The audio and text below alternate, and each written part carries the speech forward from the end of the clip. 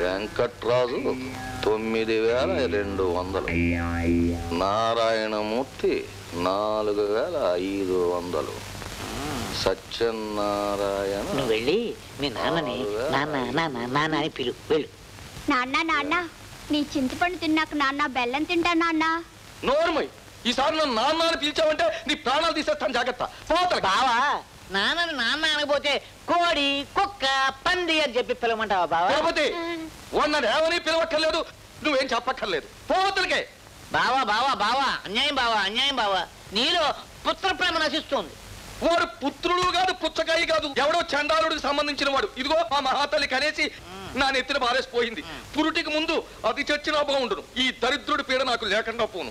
చిచి సన్నజాజి పక్క మీద సంకురాత్రి